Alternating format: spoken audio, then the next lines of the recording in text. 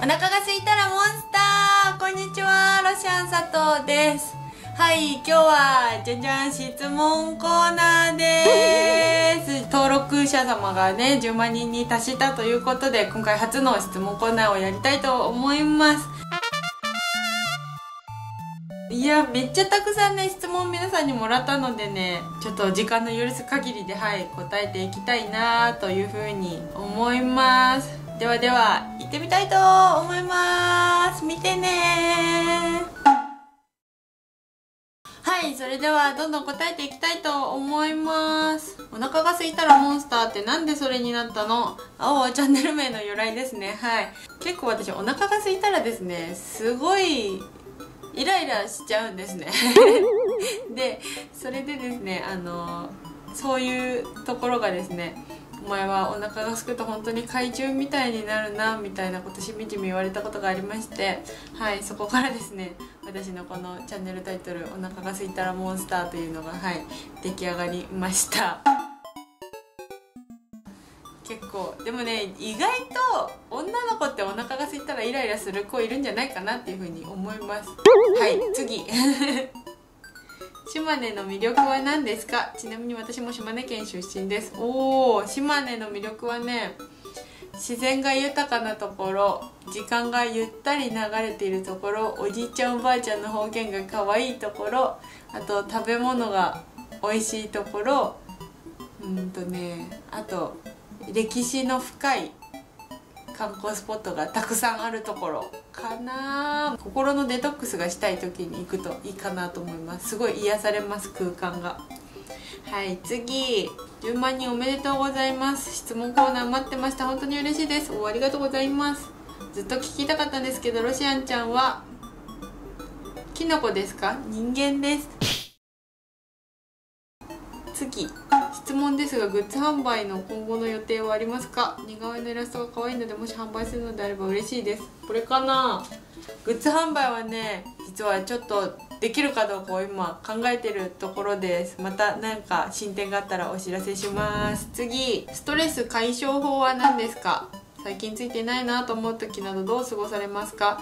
ストレス解消法か。私でもあの毎日必ず湯船に浸かるようにしててお風呂に浸かって好きな本を読むみたいのが結構嫌な嫌なことがあっても忘れれたりします。次私は猫を飼ってるのですがロシアさんはペット飼ってますか？他にポメラニアンがいていてずっと。私はあのいろんなワンコの中でポメラニアンが一番好きです。はい次。仕事の時間は決まってますか？プライベートと仕事は分けるタイプですか？笑顔のモチベーションのバランスの取り方を教えてください。今大食いもね仕事としてやりだしたのでプライベートと仕事の境界はほぼないような感じですね。ただ結構何でもこうフラットに捉えてやるようにしてて全部仕事もプライベートも全部楽しんでやりたいなというのが心情でございます。はい。次。もし普通の胃袋に戻れるってなったら戻る戻らない。次。毎回楽しく見てます。ありがとうございます。水曜日のダウンタウンで豚と勝負してましたが次は何と勝負したいですか？ヒューマンと勝負がしたいです。次。今まで食べた中で一番顎痛くなった食べ物って何ですか？えっとねアジの丸揚げ素揚げむっちゃ痛くなりました。10分でもうなんかこうここがこう何ていうの？パンプアップしたみたいなパンパンになりましたこう。筋肉が疲労して。あれはもう嫌だって感じです。はい次。もし1週間の休みがもらえたら何をしたいですか？ずっと寝たい。次。血液型何？A 型です。10万人達成おめでとうありがとうございます。ぜひファンとの交流イベントとかやってほしいのですがどうですか？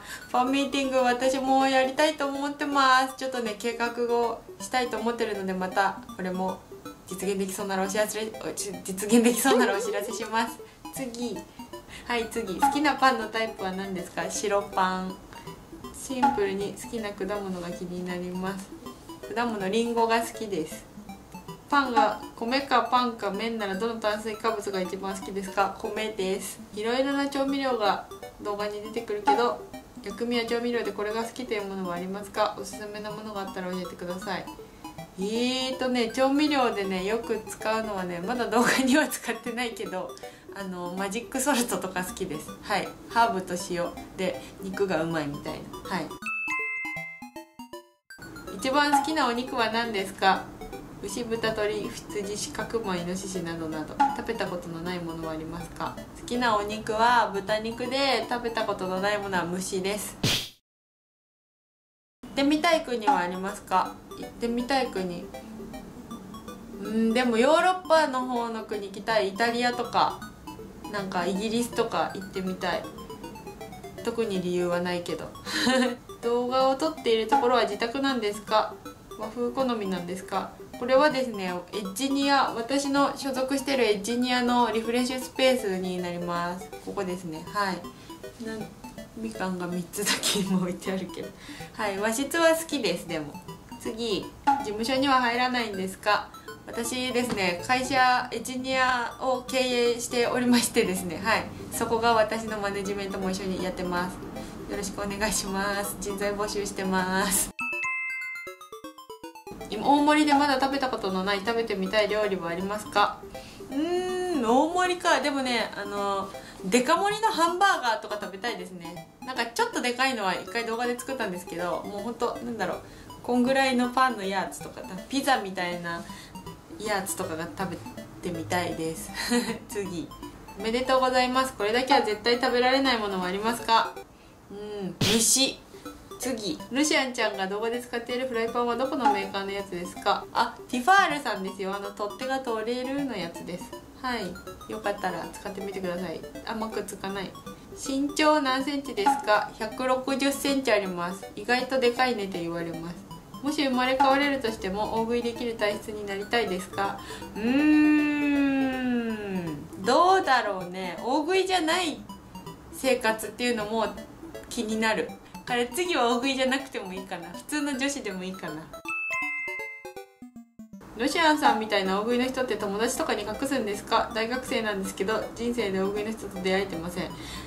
大学生ぐらいだったらもしかしたら恥ずかしくて隠してるかもしれないね。なんかさあれでそうですね。うん。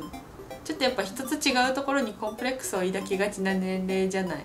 隠してるかもしれない。隠れ大食いいるかもしれないですよ。大食いデビューをして一番変わったことを教えてください。なんかえっ、ー、とねたくさんの人と知り合う機会ができましたね。なんかこう食関係の人たちとすごい仲良くなる機会があって何て言うんだろう。美味しい食べ物とかにいっぱい出会いました。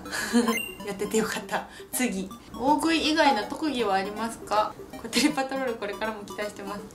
コテリパトロールまたやりたいと思います。特技ね、えと、私特技かどうかは分からんけど歌を歌うことと絵を描くことがとても好きです。大食い食べるのは生活の一部なんだと思ってたので趣味は本当は歌とイラストなんですね。またどっかで披露する機会があればいいなと思ってます。次名古屋に来たことありますか？あるよ。あったらそこで食べた名古屋飯で一番何が一番美味しかったですか？私はやっぱりね味噌カツが好きです。味噌カツがめっちゃ食べたい。食べたくなってきた。次。えーっといつも使ってる木のスプーンはいつ頃どこで出会ったんでしょうか？木のスプーンはねあれダイソーさんです。ダイソーさんのね雑炊スプーンとかのコーナーにあります。木製の雑炊スプーンで探してください。お店の人に言ったらわかるかも。質問大食い選手同士で恋に発展したりしないんですか？私はなかったけど なんか大食い選手同士で付き合ってる人もいましたよ。はい。2人とも大食いだからなんかご飯はいつもビュッフェみたいな感じ？はい次。ルシアンちゃんは几帳面な感じがすごくするのですが潔癖症なところはありますか？潔癖までではないな。でもなんか物がねこうきちっと揃ってないと嫌だ。っていう感じです。次。YouTube これがねちょっといっぱい来てる質問があるんですけど YouTube 始めたきっかけは何ですかっていうところ。まあゆうかちゃんが木下ゆうかちゃんが始めてたのをずっとあの番組とか一緒だったりした時に話は聞いてて楽しいよってすごい言ってたんですね。であそうなんだと思って私もなんか機会があったらやりたいなっていうふうに思ってなんか友達からねある時ビデオカメラをもらってでこれで YouTube 撮りなよみたいなことを言われたんですね。であじゃあせっかくもらったしじゃ編集も勉強して YouTube やってみようかなと思って始めてみました。結構ねふんわりしたきっかけだったんですけどでもなんかそこからねじゃあな何が YouTube で私が何ができるのかなっていうことを考えた時になんかこう食べる楽しさとか料理を作る楽しさとかいろんな料理とかをみんなに知ってもらえる機会を作れたらいいなと思ってはい。YouTube 今はやってます。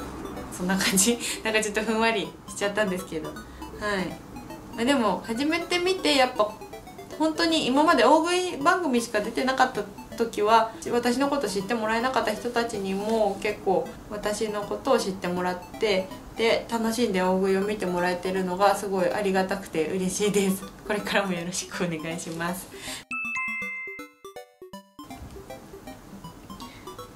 1ヶ月の食費が知りたいですっていう質問がたくさん来てるんですけどえっ、ー、とね食費はね月大体いくらかな7万ぐらいとか78万ぐらいですかね。結構あの外食に行く時は食べ放題が多いのとあとあの家で食べる時は本当にほぼ自炊なのではい。そんな感じで収まっております。あと米が実家からあの配給されるので。はい米代はかかっておりません。はい次。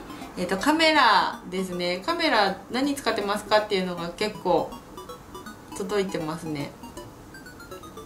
カメラあの料理撮ってる時のカメラはソニーの α5000 っていうやつです。あの初心者向けのであのミラーレス一眼です。結構本当にあの扱いやすいので初心者さんおすすめです。はい。次ロシアン棒について。そうロシアン砂糖の名前の由来はねあのー、大食いの大会に2008年に出た時にずっとロシアン棒をかぶってたからロシアン砂糖になったんですけれどはいそのきっかけのロシアン棒についての質問がちょこちょこありますね。ロシアン棒まだ持ってますか？って持ってますよ。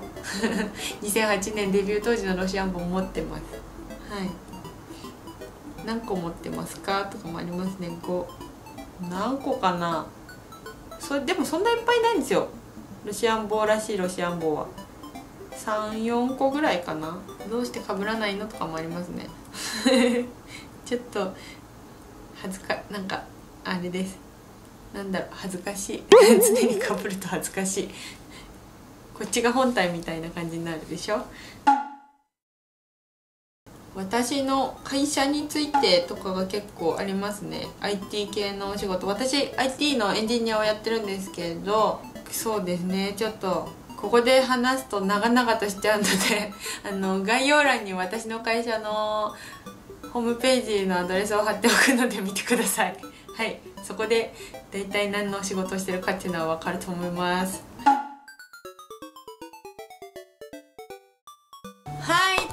ということでですねすごいたくさん質問をいただいたので本当にちょっと全然全部はね回答できなかったんですけど今回の質問はこれでおしまいにさせてもらいたいと思います。答えられなかった皆さん本当にすいません。なんですけどあの定期的にねまたこの質問コーナーをやっていきたいと思いますので今回今回スルーされたわみたいな方はですね是非是非その時にまた懲りずにはい質問をしてもらえたら嬉しいと思います。はいそれではお腹がすいたらモンスター今日は質問コーナー。ロシアに聞いてみてあれやこれを皆さんに出していただいたんですけどどうだったでしょうか。